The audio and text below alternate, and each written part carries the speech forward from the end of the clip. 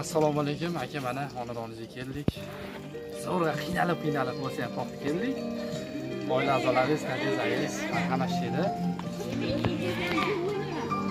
opajon onamiz qaysi nishonlashga qaror qildik. Ilohim umringiz uzoq bo'lsin qarijoningiz sog' bo'lsin. Shunday farzandlarni yetishtiryapsiz onajon doim farzandlaringizni baxtini ko'ring.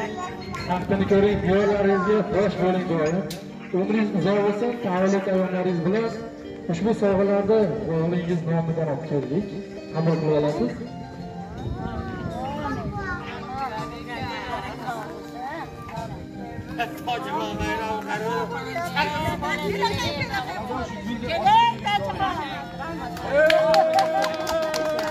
Rahmat rahmat Yasha, yasha, yasha.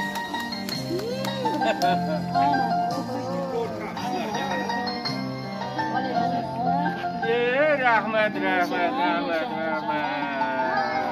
Odar vormang.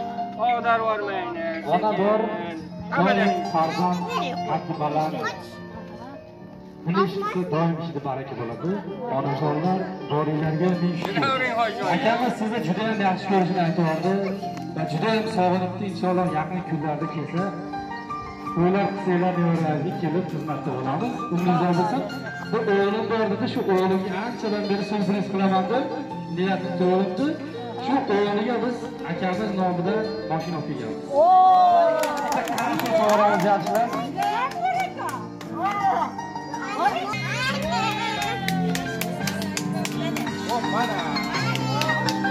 keling o'tir qani ochiladi o'tir o'tir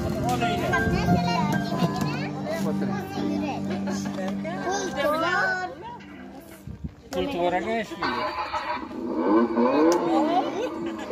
mana mana bosing gazini bosing mana mana bosing mana mana mana mana bosing bosing